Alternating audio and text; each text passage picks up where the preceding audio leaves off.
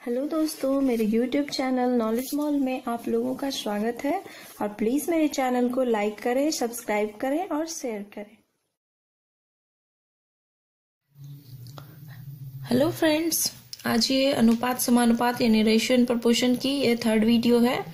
तो आइए देखते हैं आज का पहला क्वेश्चन आज का पहला क्वेश्चन है कि एक बक्से में 64 शीशे यानी चौसठ शीशे थे। बक्से के गिरने पर टूटे हुए तथा बिना टूटे हुए शीशों का अनुपात कौन सा नहीं होगा? कौन सा नहीं होगा? ध्यान रखिए दोस्तों, पूछा जा रहा है कि कौन सा अनुपात नहीं होगा? तो किसी भी कार्टून में मान लिया जाए कि जितने भी शीशे हैं, वो गिरने के बाद अगर शीशे के बर्तन या कोई कोई भी चीज़ है तो वो टूटेगा ही। तो टूटेगा तो यहाँ पूछा जा रहा है कि टूटे हुए और बिना टूटे हुए दोनों का अनुपात। तो दोनों का अनुपात कौन सा नहीं होगा? तो ऐसे क्वेश्चन को बनाने के लिए ये कॉन्सेप्ट है कि कोई ऐसा ऑप्शन जिससे कि, जिनके योग से अगर 64 नहीं कटेगा, वही हमारा आंसर होगा। और टूटे हुए शीशों का अनुपात क्या हो जाएगा? बिना टूटे हुए टूटे का, जिससे कि ये कट जाए। तो आइए पहला ऑप्शन देखते हैं कि थ्री और प्लस कितना हो जाएगा हमारा? एट और एट से से यह जो है चौसठ कट जाएगा। देखिए सिक्सटी फोर बाय एट करते हैं तो ये हमारा क्या हो जाएगा? कट जाएगा। यानी कि ये हमारा ऑप्शन नहीं होगा क्योंकि यहाँ पूछा जा रहा है कौन सा अनुपात नहीं होगा। होने वाला नहीं, कौन सा नहीं होगा। अब देखिए सेवन और नाइन को चेक करते हैं तो ये कितना हो जाएगा? ये सिक्सटीन हो जाएगा। सिक्सटीन से भी सोलह क्या है? विभाज्य है। यानी ये भी हमारा आंसर नहीं होगा। अब देखिए, सात और पाँच को ऐड करते हैं। तो ये कितना हो जाएगा हमारा? ट्वेल्व ट्वेल्व से सिक्सटी फोर हमारा नहीं कटता है। और नहीं कटेगा तो इसीलिए पूछा जा रहा है कि कौन सा अनुपात नहीं होगा? तो हमारा ऑप्शन नंबर सी और इसके लिए एक और चेक कर लेते हैं। हमारा लास्ट बचा हुआ है। वन और थ्री दोनों का अगर ऐड कीजिए तो ये हमारा फोर हो जाएगा। और फोर से सिक्सटी फोर हमारा क्या है? विभाज्य। यानी ये भी हमारा ऑप्शन नहीं। यानी option number C next question है कि पाँच केले तथा चार सेबों का मूल्य तथा तीन केले और सात सेबों का मूल्य बराबर है। तो एक केले तथा एक सेब के मूल्यों का अनुपात क्या होगा? तो आइए, पाँच केले, यानी कि केला को हम बनाना बोलते हैं तो बी से डिनोट कर लेते हैं हम इसे। फाइव बी फाइव बनाना और चार सेब तो चार से फोर एप्पल से ए से डिनोट कर लेते हैं हम कि पाँच केले तथा चार सेब यानी कि इन दोनों का जो मूल्य है, वह तीन केले, यानी थ्री बनाना और सात सेब, यानी सेवन एप्पल के मूल्य के बराबर है। तो इसे हम बराबर कर लेते हैं। अब कहा गया कि एक केले और एक सेब के मूल्य का अनुपात। तो देखिए, ये हमारा फाइव बी फाइव बनाना इसे हम अगर इधर थ्री को माइन लाते हैं तो ये हमारा माइनस में हो जाएगा। ये सेवन ए फोर ए को अगर हम उधर ले जाते हैं, ये हमारा माइनस हो जाएगा। यहाँ हो जाएगा हमारा टू बी और ये हो जाएगा थ्री ए पूछा किसका किसका अनुपात गया है? केले और सेब। तो ये हो गया हमारा बनाना और ये हो गया एप्पल। तो मैंने शायद बताया नहीं, बट फिर से बता देते हूँ, अगर बताया भी है तो। तो जब भी, अगर मान लीजिए कोई चीज़ बटे में है, जैसे बी बटे अगर टू रहता तो हमारा बी का मान टू ही होता।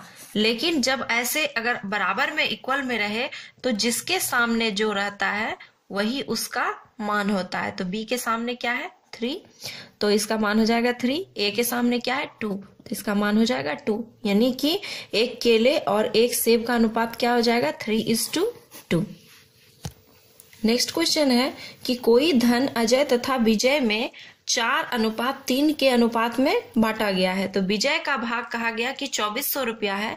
तो कुल धन कितना होगा? अब आइए। ये है अजय और ये विजय। अजय का फोर है और विजय का three. Four is to three दोनों का अनुपात दिया गया है, जिसमें कि कहा गया कि विजय का भाग क्या है? तो विजय का भाग हमारा क्या है? थ्री। और ये अनुपात में ये एग्जैक्ट मान नहीं है तो इसे हम एक्स इंक्लूड कर सकते हैं इसमें। तो विजय का मान है थ्री एक्स और इसका कितना मान है हमारा? चौबीस सौ। इसे हम तीन से अगर काट दें तो ये हमारा एट हंड्रेड टाइम में कट जाएगा। एक्स का मान मालूम है। पूछा गया कुल धन कितना है? तो कुल धन कुल धन कितना हो गया हमारा? दोनों का ऐड कर देंगे। फोर एक्स अजय का और थ्री एक्स विजय का। दोनों मिलाकर हो गए कुल धन सेवन एक्स और कुल धन का मान पूछा जा रहा है, यानी कि सेवन इंटू एक्स का मान कितना? एट हंड्रेड यानी कि फिफ्टी सिक्स हंड्रेड रुपीज़ ये हमारा टोटल धन।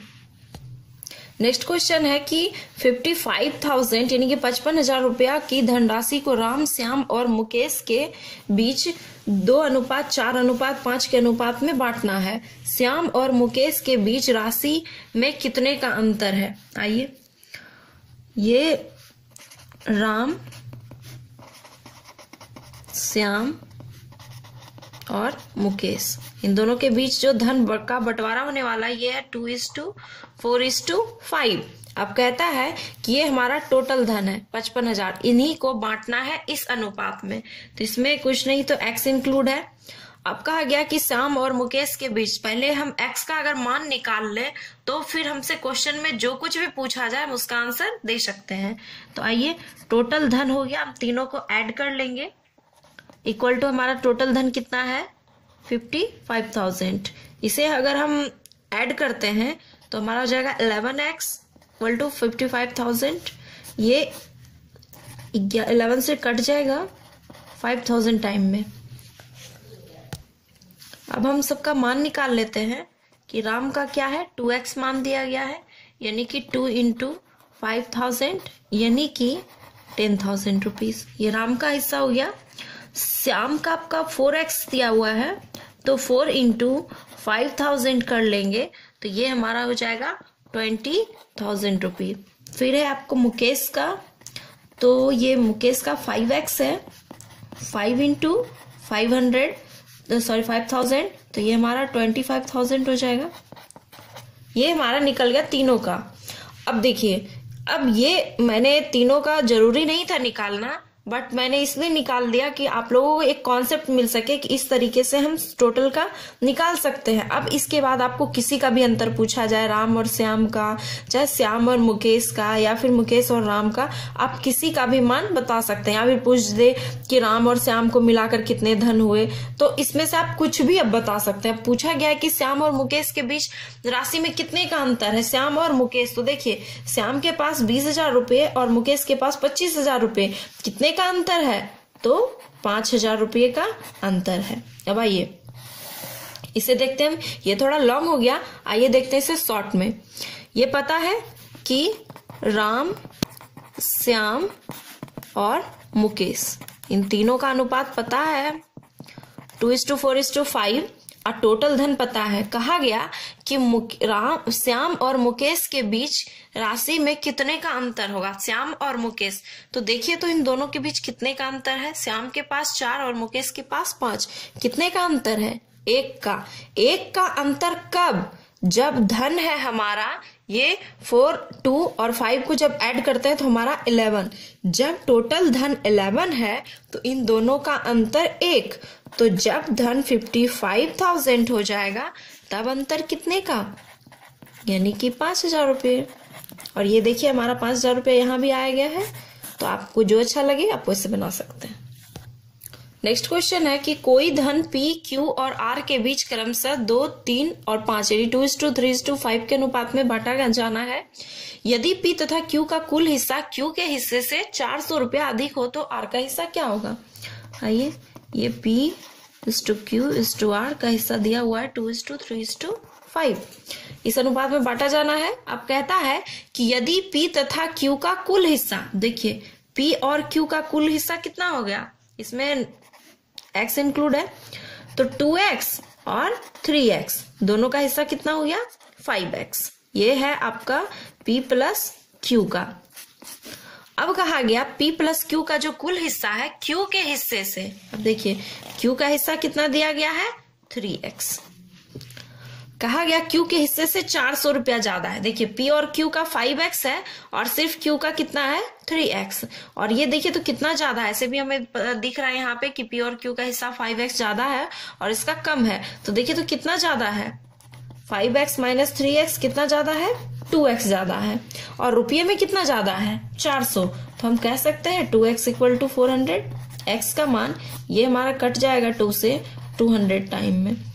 तो एक्स का मान अभी निकला है हमारे पास। अब इसमें से अगर पी का हिस्सा पूछे तो भी हम बता सकते हैं क्यू का भी बता सकते हैं आर का भी। जिसका पूछे, हम उसका बता सकते हैं। तो इसमें पूछा गया है आर का हिस्सा। तो आर का हिस्सा दिया हुआ है five X five multiply X का मान कितना हो जाएगा? टू हंड्रेड यानी कि वन थाउज़ेंड रुपीज़ ये हो गया हमारा आर का हिस्सा। तो आज का वीडियो आप लोगों को कैसा लगा, ये मुझे कमेंट बॉक्स में ज़रूर बताइए। और जिन लोगों ने अभी तक भी मेरे चैनल को नहीं किया है सब्सक्राइब तो प्लीज़ कर लीजिए, ताकि नेक्स्ट वीडियो जब भी अपलोड हो तो आप लोगों को आसानी से मिल सके। तो लाइक कीजिए कमेंट कीजिए, ज़्यादा से ज़्यादा शेयर करें मेरे वीडियो को। धन्यवाद।